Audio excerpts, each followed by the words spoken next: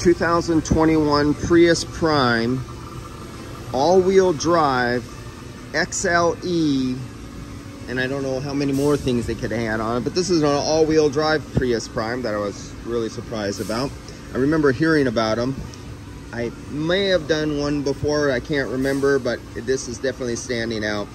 Uh, one thing you may notice so right now I hooked up I'm checking my gauges before I actually, I had it down for a second, then I go, wait a minute, I want to show everyone on video because I keep getting new subscribers and they miss stuff, especially with when they purchase gauges, digital gauges, all gauges, well, you can't do this on analog gauges. So here's something you cannot do on analog gauges.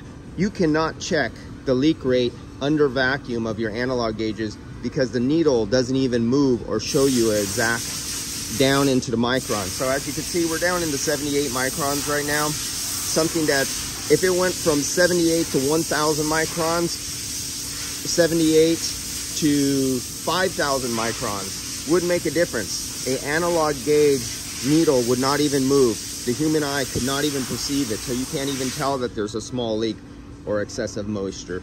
Analog gauges, that was great for your great grandfather back in the days when you crank start your Model A, but we move on beyond that.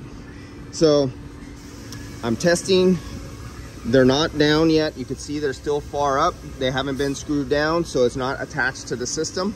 So right now, I'm gonna now attach the system because I know the capability. I have no leaks at any of the fittings, my hoses, anything here. I know what it's capable of doing before it's attached to the system. So I should know what it's capable of doing after it's attached. So let's attach it. So now we're gonna draw down a vacuum on the system itself very lightly you see this, how light this is? You never crank, just touch. And, um, and that's it. It's now drawing a vacuum. We're getting down there really fast. Preparing to recharge this uh, 2021 all-wheel drive Prius Prime. But let's make some notes here, some things you'll notice. This is really good for you guys who live in really hot areas, is insulation on your suction line. So you see right there on the suction line right there, see the aluminum that absorbs heat. When this hood is closed and you're in Arizona, you're in Texas, you're in Dubai, Saudi Arabia, anywhere, anywhere it's really hot, your underhood temperatures climb way above 200 degrees Fahrenheit. Between the heat of your condenser, the heat of the radiator, the radiant heat off of the exhaust manifold that's right there in the back.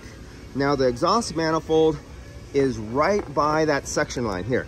This is the suction line with insulation on it, right where you see all that, that is the suction line.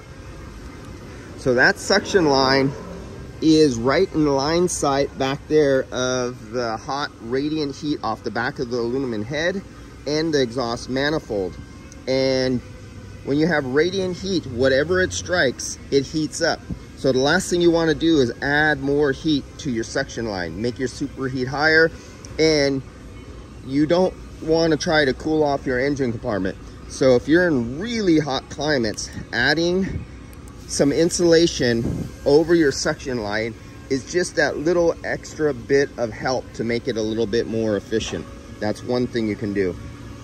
Uh, what else there? Okay, so that's that's enough on this. I just wanted to show you the difference between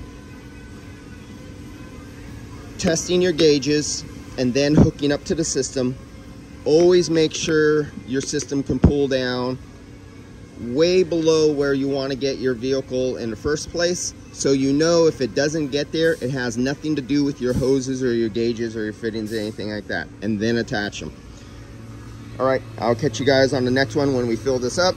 And yeah, my oil's starting to get a little bit cloudy here.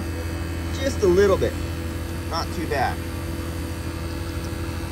Probably by the end of the day, like usual, it'll get a little more cloudier and I just switch it out and change it.